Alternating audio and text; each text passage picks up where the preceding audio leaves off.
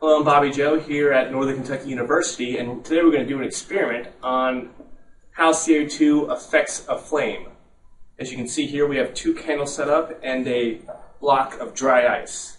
Now this is a variation on a classic experiment that does essentially the same thing. Now let's see what happens when I put this dry ice behind this board here.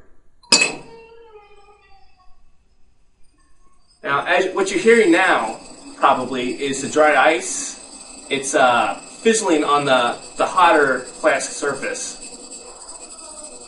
And uh, as you see right here, one of the flames is already going out.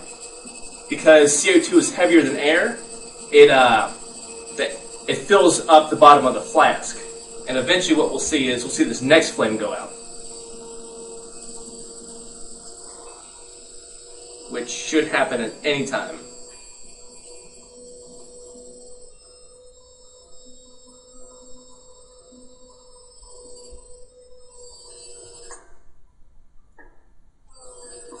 And like I was saying before, since dry ice is solid uh, carbon dioxide, what's happening is instead of melting, it's actually subliming where it goes directly into the gas phase.